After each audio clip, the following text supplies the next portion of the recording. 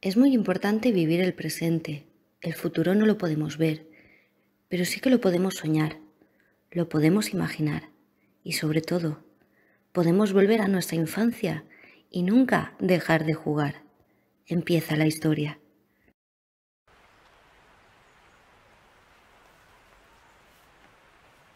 Ah, hola. Buenos días. ¿Es aquí donde necesitan una bombera del futuro? Buenos días, así es. Para servirle. Bombera número 3512 del Parque Interestelar. ¿Qué necesitan? ¿Le importaría que le hiciera unas preguntas sobre el futuro? Es que justo el lema del Día de los Museos de 2021 es el futuro en los museos. Ah, que estamos en 2021. Sí.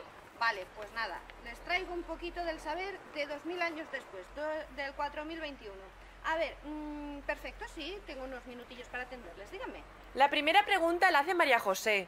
Para ser bombera con plaza fija, ¿qué se requerirá en el examen? Examen no tenemos. Para nada. Lo que se hacen son unas pruebas muy importantes. ¿Ustedes saben lo que son los escape room? Sí, Pues así es. nosotros lo que hacemos es un escape planet. Nos llevan a un planeta desierto y hay que salir de allí. Pero eso sí, solo una persona se va a llevar la plaza. ¿Sabe usted quién? ¿El más listo? No. ¿El más fuerte? No, ¿El más valiente? tampoco. La persona que mejor sepa trabajar en equipo. Es lo más importante. Saber trabajar en equipo y eso sí, una vez rescatados de ese planeta, se hace una maratón de chistes. ¿Una maratón de chistes? Claro, porque la persona que se lleve la plaza tiene que tener mucha chispa. Nos preguntabais sobre las pruebas de selección. Bueno, pues tengo que deciros que ahora no hace falta saber bucear. ¿Por qué? Porque es muy raro encontrar agua en cualquier planeta. Pero antiguamente sí que era necesario para poder acudir a cualquier rescate, aunque el culpable fuera el agua. Eh, ¿Qué es lo importante? Como os digo, trabajar en equipo. Porque ahora mismo, una vez que superas esa prueba del escape y de los chistes, ya tienes tu plaza fija y no te jubilas hasta los 125 años, entonces ya te criogenizan. La escalada.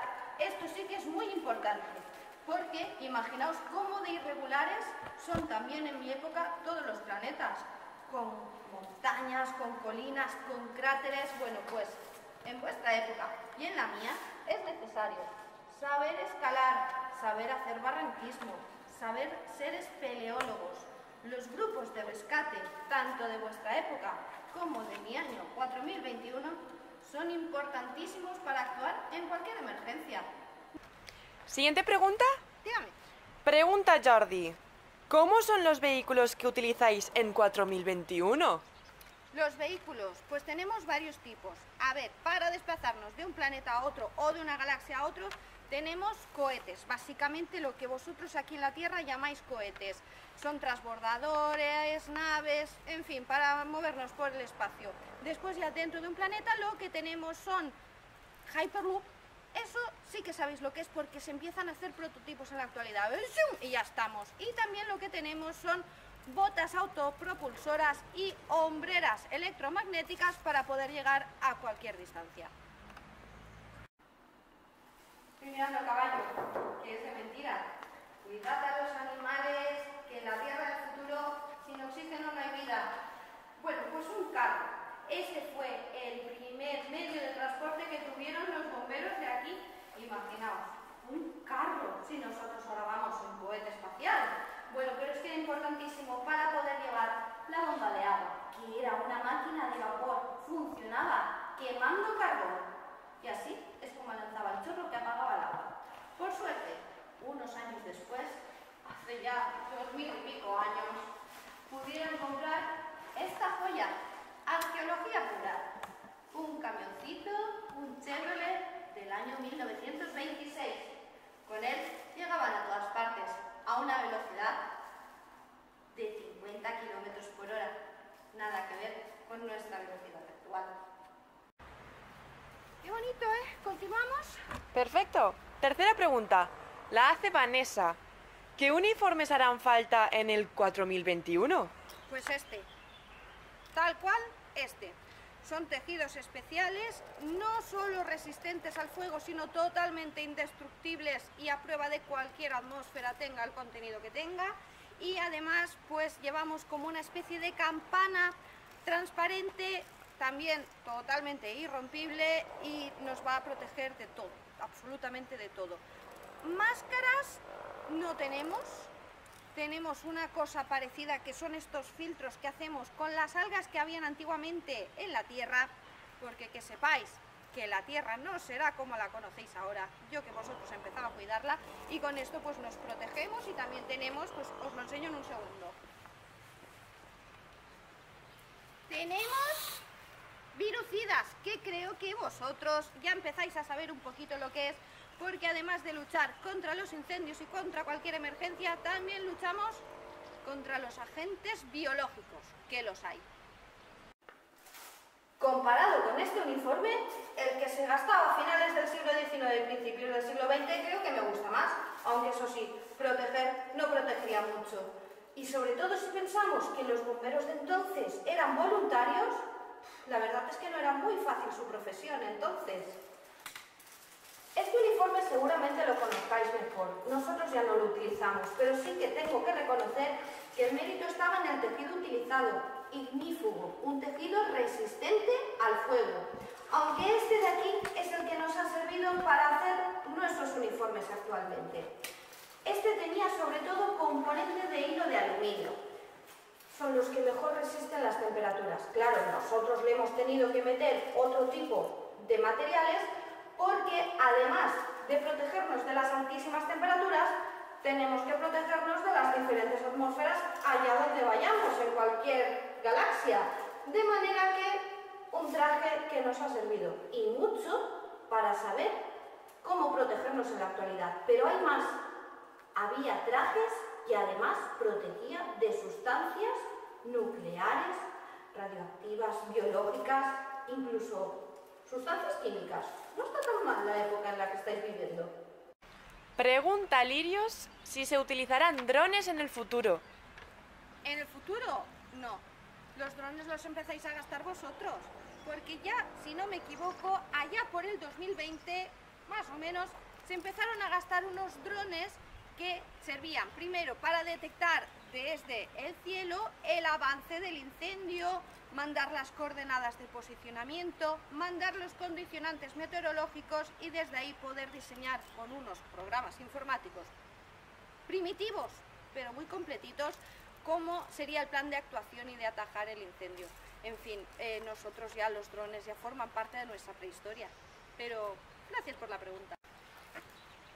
Hay que ver cómo está este árbol. Yo os advierto, como no empecéis a cuidar ya los árboles, la naturaleza, de verdad que os puedo asegurar que el planeta no será igual.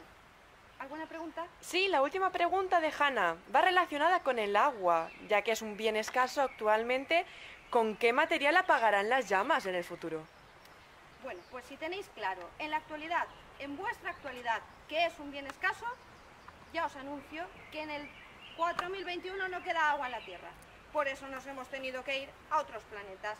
En fin, os resumo algo muy sencillo. Para que haya un incendio, para que haya fuego, hace falta tres elementos.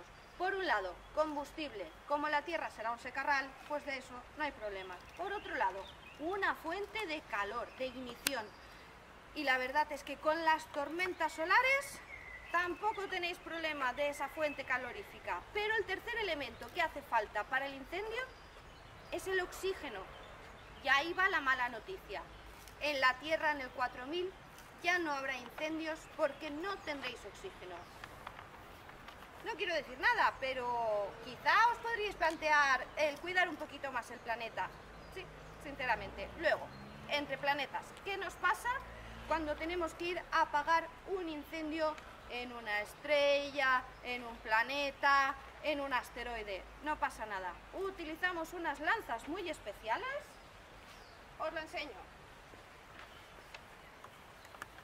Son estas lanzas con este producto que tira un producto que vosotros no conocéis en la actualidad, que se llama helenio de frituro. Y con esta especie de espumillón, lo que hacemos es atrapar todas las sustancias nocivas derivadas de ese incendio. Así es que en cosa de segundos y manejado con ondas electromagnéticas cerebrales, apagamos los incendios. Ya os he explicado cómo apagamos el fuego en mi época, pero la verdad es que también os quería enseñar esto porque son las bombas de agua que gastaban en otra época diferente a la vuestra. Esta en el siglo XIX, totalmente manual, y esta a principios del siglo XX, ya llevaba motor, pero funcionaban igual, con esa fuerza necesaria para lanzar un chorro de agua que apaga el fuego. Las lanzas. Nosotros ya sabéis que ahora gastamos esas lanzas que se accionan con ondas electromagnéticas cerebrales, pero quiero enseñaros estas, porque estas tampoco las conocéis vosotros.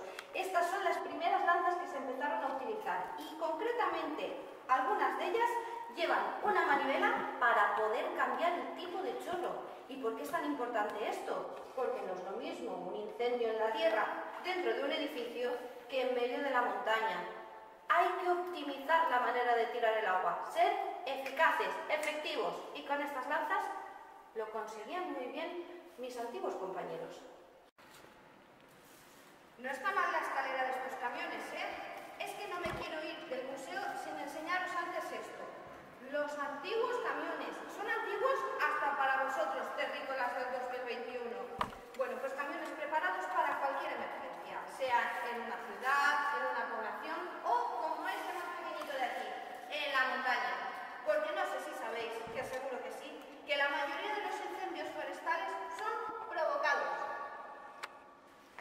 Como no os pongáis ya a cuidar vuestro planeta, sinceramente llegará el día en que no haya nada que quemar, no tendréis ni un árbol. Y os lo digo porque lo veo desde la ventana de mi planeta. Así es que, antes de marcharme, voy a dar una ojeada a este museo, porque museos tampoco quedarán muchos. Cuidad mucho los museos. Eh, ¿Me dejáis hacerme unas fotos por aquí dentro? Sí, ¿Estáis claro. de acuerdo? Todas las que quieras. Vale, pues entonces, antes de irme, me voy a dar un paseo por aquí por el museo, me voy a hacer unas cuantas fotos con esto que ya es arqueología de los bomberos y después creo que me voy...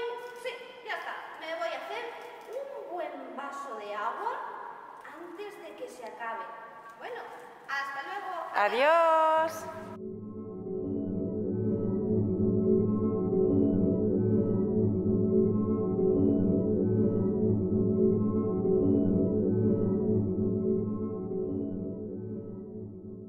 Con todo nuestro cariño y desde el respeto más absoluto a una profesión tan importante y necesaria en nuestras vidas como es la de los bomberos y bomberas. Queríamos dedicar esta visita a todos nuestros visitantes. Es un guiño. Queríamos sacaros una sonrisa en una época en la que no todo está siendo fácil. Recordaros que nunca hay que dejar de soñar, de imaginar, de jugar. Pero también recordaros que es responsabilidad de todos cuidar de nuestros seres más queridos y también cuidar de nuestro planeta.